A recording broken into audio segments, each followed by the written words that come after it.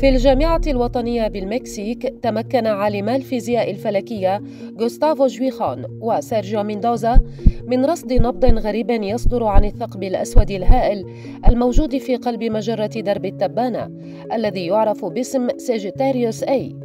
لذلك شرع في تحليله وتفاجأ أن النبض كان عبارة عن تقلبات تدفق أشعة جاما كل 76 دقيقة بما يشبه موجات الراديو والأشعة السينية حيث دائما ما تتقلب تلك الموجات على نطاق زمني يبلغ حوالي 70 دقيقة. ولكن الثقوب السوداء لا يمكنها أن تصدر أي إشعاعات.